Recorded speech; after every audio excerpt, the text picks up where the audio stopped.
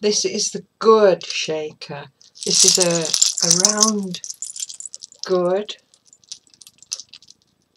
with a handle and with lots of little CD shakers attached and this is what it sounds like.